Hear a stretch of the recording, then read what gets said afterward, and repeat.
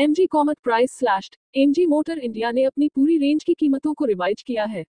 Comet EV की कीमत में एक लाख रुपए की बड़ी कटौती की गई है। इसके साथ ऑल इलेक्ट्रिक कार कॉमेट अब छह दशमलव नौ नौ लाख रुपए की शुरुआती कीमत एक्स शोरूम पर उपलब्ध होगी। पहले इसकी शुरुआती कीमत सात दशमलव नौ आठ लाख रुपए थी।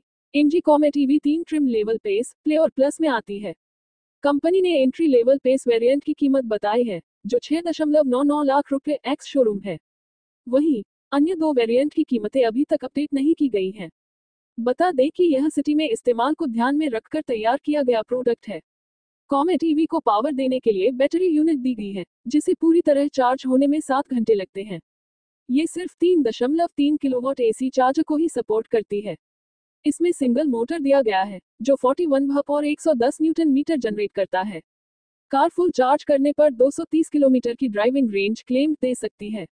ये दो ड्यूल टोन और तीन मोनोटोन कलर ऑप्शन में आती है, जो starry black apple green starry black candy white aurora silver candy white और स्टेरी ब्लैक में आती है। ये दो टोर कार है और इसमें चार लोगों के बैठने की कैपेसिटी है। इसमें एलईडी हेडलैम्प्स और टेल लैंप्स मिलते हैं। केबिन काफ़ी स्पेशियस और एयरी फील होता है।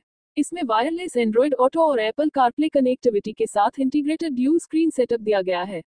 इसमें दस दशमलव दो पाँच इंच की इन्फोटेनमेंट स्क्रीन और दस दशमलव दो पाँच इंच का डिजिटल इंस्ट्रूमेंट क्लस्टर है।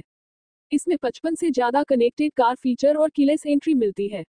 सेफ्टी के लिए एबीएस के साथ ही बीडी रियर पार्किंग सेंसर और रिवर्स पार्किंग कैमरा जैसे फीचर्स हैं।